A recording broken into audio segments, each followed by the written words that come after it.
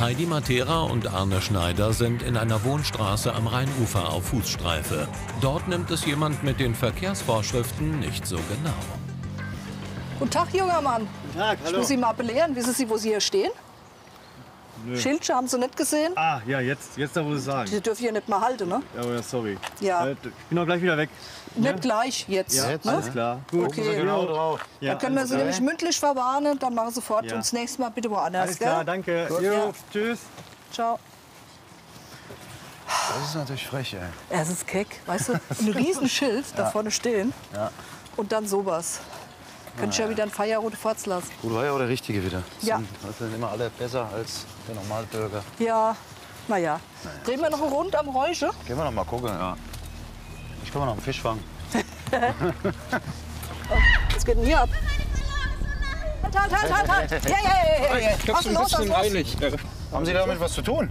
Äh, nee, nee. Erstmal Warum runter haben Sie hier. überhaupt so eine Äh, Maske ich hab auf? die Mondscheidkrankheit. Ab damit Mondschein, hier. müsst ihr aber Sonst auch- gibt's Antibiotika- Ärger. Cola Müsst ihr auch ein langes T-Shirt wahrscheinlich Auf, anhaben, hopp, oder? weiter. Äh, Zieh mal jetzt das, das Ding ab. Also, Aber mein abmachen. Freund. Also, ich ihr? wirklich eilig. Babbel nicht runter damit. So, gebabbel hier.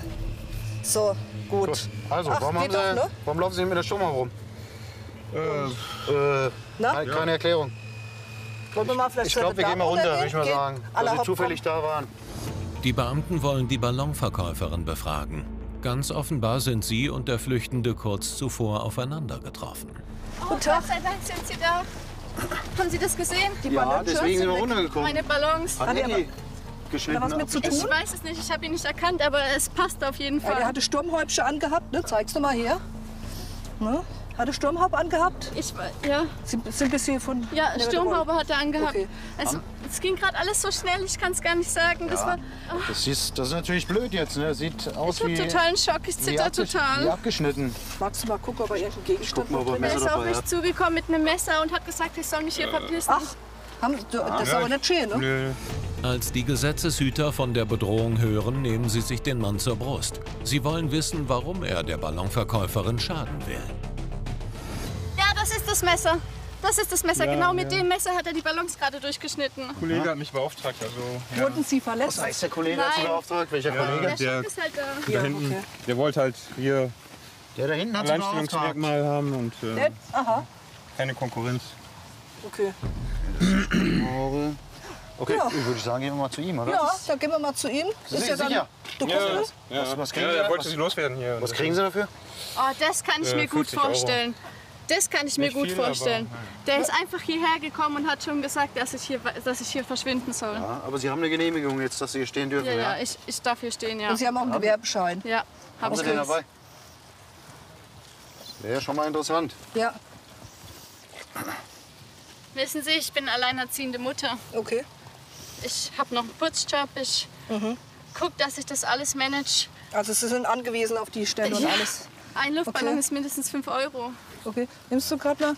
Ich Gut, mal. Gewerbeschein haben wir hier, Ja. okay. Und dann haben wir auch die Carina Äh, Linden. Schreibe ich mir gerade mal Ich schreibe auf. schreib mir mal Okay. seine Daten kurz auf, damit er, Ja. können wir ihn auch überprüfen kurz. Äh, er hat nichts dabei, Ja, hat er gesagt. Ne? Magst du? ich schreibe mal auf, was er sagt. Ja. Äh, okay, ihre Existenz hängt da Ja. dran. Das mein, ist natürlich Mein. Ex-Mann zahlt keinen Unterhalt für meine Tochter. Okay. Wie alt ist die Tochter? Sieben, gerade in die Schule gekommen. Gut, Mein Frau ganzer Linden. Stolz. Ja, das ist natürlich echt dann blöd. So, warte Sie hier gerade einen Moment auf uns, dann gehen wir jetzt gerade mal rüber. Das Rheinufer ist ein beliebter Standort, aber auch umkämpft. Die Beamten wollen jetzt den verdächtigen Konkurrenten der Ballonverkäuferin zur Rede stellen. Guten Tag. Guten Tag. Wir haben ein kleines Anlege. Haben Sie es mitbekommen äh, vorne? Die Kollegin hier mit den... Lassen Sie uns mal, lassen Sie bitte, uns doch mal lassen Sie uns mal bitte reden. aber das war bestimmt der, So. ganz sicher. Sie kennen die Dame? Nein. Ne? Die verkauft aber auch Luftballons, die Das Sie als ich hier ich. se- gesehen habe. Äh, er behauptet jetzt, er hätte von Ihnen 50 Euro gekriegt, äh, damit er die Ballons hier von ihr wegschneidet, damit Sie allein hier den Standplatz Ich sehe den haben. Strich ja jetzt zum ersten Mal. Äh, Jetzt werden Sie nicht beleidigend. Ja, wenn der mir was in die Schuhe schieben will, was ich nicht getan Ja, habe. sa- sa- bleiben Sie auch sachlich. So, Anna, was geht? Kennen Sie den Mann? Nein. Kenne nicht. Also die junge Dame hat auch, lügen, die junge ja? Dame hat auch uns gegenüber angegeben, dass Ja. Sie ihr schon gedroht haben, dass sie von dem Stand da vorne weggehen soll. Also hab das würde jetzt mal in die. Ich Geschichte. auch- Und ich war gar, zuerst da. kein, gar nicht nötig, äh, jemanden zu bedrohen. Ich habe die besseren Luftballons. Die beste. Ja gut, aber Okay. ich sag mal, ist ja schon interessant, ob sie allein stehen oder ob mehrere hier stehen. Ne? Das ist, kurbelt das Geschäft ja schon an, würde ich mal so knapp behaupten. Konkurrenz belebt das Geschäft. Ja gut. Haben Sie einen Ausweis dabei? Und Gewerbeschein würden wir auch gern sehen. Ja. Den hat er Ausweis habe ich dabei. So, dann wollen wir mal gucken. Heidi Matera bittet die Leitstelle um Informationen zu dem Ballonverkäufer. Der Angreifer nennt seinen Namen immer noch nicht. Daher zweifeln die Beamten nun auch an seiner Story. So, was sagen Sie noch dazu jetzt? Er kennt Sie Ja, ich nicht, habe Sie alles kennen ihn. gesagt, was ich äh, zu sagen habe. Ne? Also, Wir wollen nichts mehr. Ja. Ja, Sie bevor sich verheddern. Wo haben Sie die Okay. 50 Euro? Weil gefunden habe ich jetzt bei Ihnen nichts. ach so, äh, ja, wollte mir noch geben eigentlich. Ne? Ach so. Heute Abend irgendwann. Ja. Aha. Ja, später. Ich muss dringend los. Ich habe noch einen Putzjob auf der, Straße, auf der anderen Seite von der Stadt. Kleinen Moment bitte. Dann muss ich meine Tochter von der Schule. Arnold hört? Warten, kleinen Moment bitte. Ja. Hallo, 1432, Anton Wohlleber, 3.470, Weinsbergstraße 184 in Köln. Herr Wohlleber ist impfvoll negativ und Gewerbeschein liegt auch vor. Alles klar, danke. Okay, ja, stimmt alles bei Ihnen? Ja, dann würde ich jetzt sagen, Kann ich auch dran gehen, ne? Aber Sie haben ja keine Personalien. Also, ja, nö, Sie gehen mit ist uns. alles in Ordnung. Nee, wir das nehmen Sie erstmal mit. Äh, Wir überprüfen, ob die Personalien Gut. auch wirklich stimmen. Alles klar. Dann, äh, wir müssen halt nachfragen, ist klar, wenn er Sie beschuldigt. Ne? Ich meine, ist jetzt bei Ihnen auch okay. Äh, wollen wir Sie dann halt entlassen? Weil Ja, äh, ja, Sie muss Sie- zum anderen Job dann. Ich habe hier Ihre Sie muss Daten halt und alles. mal auf, auf die Wache dann kommen. Ja, mir schicke Ihnen noch was zu. Sie kommen noch mal auf die Wache, machen eine Aussage, Ja. ne, weil es ja auch ein Ja. Schaden entstanden. Ja, ja. Ne? Dann wünschen wir Ihnen alles Dank. Gute. Ja, danke. Okay, gerne. So, Den würde ich mal mitnehmen. den nehmen wir mit dem Bub, ne? Ja, Okay. weil, äh, gut, wenn Sie ihn nicht kennen, mein Gott, ich werde hier mal verheddert von dem ganzen Gedönse. Ja. Eieieiei. So, jetzt müssen wir mal gucken. Ah, du, Arne, Ja. das merke ich hier. Das Hast du, 1A Gummi. Ähm, hast du die gesehen, die da die Fotos die ganze Zeit macht? ja, ich wollte auch gerade sagen, da ist eine Dame, die macht die ganze Zeit Bilder. Vielleicht hat die auch irgendwas drauf. Wolltest du mal fragen gehen? Ja, komm, wir ich gehen bei mal hin. Oder? Bei Ihnen dann, Entschuldigung, aber wir müssen dem halt nachgehen, ne? Danke, gleichfalls. Guten Tag. Guten Tag. Wir sehen gerade, Sie haben so ein bisschen Bilder gemacht. Ja. Haben Sie, äh, können wir die vielleicht mal angucken? Wäre es okay? Ja, ich habe ein schönes Bild gemacht von den hübschen Ballons von der Jungfrau. Ja, weil Zufällig, als sie weggeflogen sind? ist das nee, leider aufschlussreich. nicht. Leider nicht. Nein, hier steht die Dame mit den Ballons. Okay, können wir es mal größer machen? Die Polizisten entdecken auf den Fotos einen Mann, der mit dem Täter spricht. Heidi Matera erkennt ihn wieder. Das ist doch der Mann draußen von dem äh, Mercedes, wo wir im Haltverbot mündlich verwarnt haben. Sagen, Kann man das mal ein bisschen heller machen oder was? Das ist ja plotze dunkel. Das ist mein Ex-Mann. Das ist Ihr Ex-Mann. Das ist mein Ex-Mann, den erkenne ich sofort. Der steht hier vorne. Wusstest du, dass er hier vorne steht? Nein, Der fährt Also so Sie, ein Sie kennen den jungen Mann hier nicht? Nein, das, nein, noch nie äh, Das sind gesehen. ja eindeutig Sie, oder? aber das andere ist hundertprozentig mein Ex-Mann, den erkenne ich aus fünf Meter ja, Entfernung. Könnte sein. Könnte sein. Was machen Sie mit dem jungen Mann? So, den habe ich vorhin zufällig getroffen. Der hat mich nach einer Zigarette gefragt. Rein zufällig getroffen. Okay. Äh, Kann ich Der steht nämlich da vorne im Halteverbot. Also das ist Ihr Personal? Ex-Mann? Ja, Ähm, ja, ich stecke gerade mitten in einem Sorgerechtsstreit und der will schon die ganze Zeit das Sorgerecht für meine kleine Johanna. Also das ist natürlich sehr interessant, dass der junge Mann, der Ihnen die Luftballons abgeschnitten hat, mit Ihrem Ex-Mann, äh, sag ich mal, hier auf dem Foto zu sehen ist. Ne? Das ist, sag ich mal, Aber das passt. schon so. sehr Ja, das ist komisch, komisch, ne? ja. Sehen Sie auch so. Bin ich nicht nur, der das so denkt. Dann bin ich Nee, nee, zufrieden. Vielleicht sollten wir den mal befragen, den jungen Herrn. Äh, Würde ich sagen, ich nehme jetzt von der Dame noch die Genau. Personalien auf und dann kann sie uns vielleicht die Bilder zuschicken. Sie haben vielleicht noch mehrere Bilder davon. Kann ich und dann machen. können wir die auch mal ausdrucken, gerne. vergrößern, Genau. hier daheim. Genau, da gibt es hier die. Adresse. Sehr gerne. Ja, Wie das, heißt die das wäre total nett von Ihnen. Die Beamten vermuten, dass der Ex den jungen Mann angestiftet hat. Nur warum?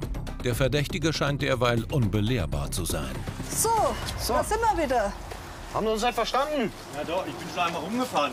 Aber ich Und haben Sie sich wieder hingestellt? Sind rumgefahren und haben sich wieder ins hier gestellt. Das ist ja witzig, ne? Bekannten, auf Bekannten, gewartet. Ganz den hier Carina, hallo. Du Ja, genau, Carina. Ja, Carina. Ich habe dir schon tausendmal gesagt gehabt, dass unsere Tochter Johanna bei dir nicht gut aufgehoben ist. Du raffst es aber nicht, ne? Ich liebe das Ja, ich auch. Meinst will du sie- meinst du dich nicht? Meinst du dich nicht? Gehen Sie mal, Ne? bevor die... Du hast doch sowieso Du noch du hast, sie Hör gekümmert. auf zu labern. Sie mal ein Du hast, doch, du hast doch gar keine Zeit für sie. Ich so von Ihnen Ich kann wenigstens Liebe geben. Ja, meinst Sie du auch mal ein Stückchen. Ich hatte ihm das Ja, verbieten Sie mal für ein sie. Stückchen. Ne? Kurz bevor die Lage Sind Sie eskaliert. jetzt mal still? Ja. Sie stellen sich einfach hier hin, ans Auto. So. Also, Personalausweis. erklären. was können Sie Aber in erklären? ruhigen Worten, in ruhigen Ton bitte. Was, Herrgott, was können Sie denn erklären? sie hat- Kommen Sie mal hierher Sie hat unsere Tochter halt nichts zu bieten.